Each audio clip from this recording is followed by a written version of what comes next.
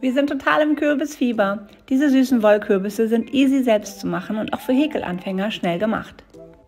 Dazu macht ihr euch eine Luftmaschenkette aus 12, 17 oder 22 Maschen, also immer 5er Schritte plus 2 und eine Reihe Stäbchen zurück. Dazu einen Überschlag auf die Nadel machen und in das hintere Maschenglied der dritten Masche einstechen. Das Garn holen, durch die Masche ziehen, wieder das Garn holen, durch die ersten beiden Schlaufen auf der Nadel holen, noch einmal das Garn holen und durch die restlichen beiden Schlaufen ziehen. Und jetzt in jedes weitere hintere Maschenglied ein solches Stäbchen setzen. Am Ende dann eine Luftmasche und umdrehen.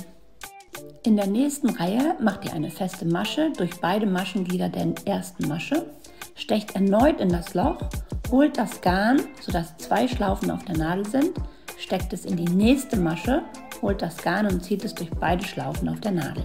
Dann wieder ins selbe Loch stechen, Garn holen, sodass zwei Schlaufen sind, in die nächste Masche stechen, Garn holen und durch beide Schlaufen ziehen. Ins selbe Loch, Schlaufe holen, in die nächste Masche, Garn holen und durch beide Schlaufen ziehen.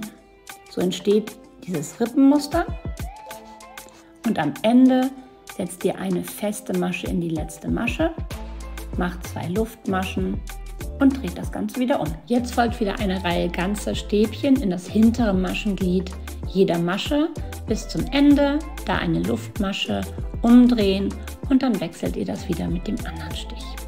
Diese beiden Reihen wechselt ihr ab, bis ihr 8, 13 oder 18 solcher Rippen habt, endend mit einer Reihe ganzer Stäbchen. Und dann legt ihr das links auf links und häkelt Ende und Anfang zusammen. Dafür durch die beiden inneren Maschenglieder stechen, also das hintere der oberen Schicht und das vordere der hinteren Schicht, das Garn holen und durch beide Schlaufen ziehen.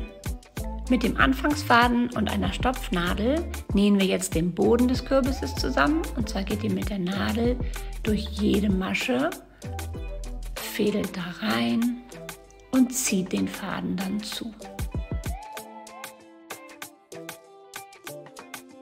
den Faden vernähen und dann wird mit Füllwatte gestopft, bis er richtig schön voll ist. Und dann schließen wir auch oben. Dazu setzen wir eine Reihe feste Maschen rundherum und lassen dann ca. 50 cm Garn zum Zunähen.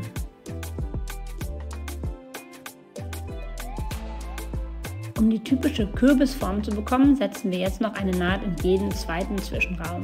Dazu mit der Nadel in die Maschen fädeln,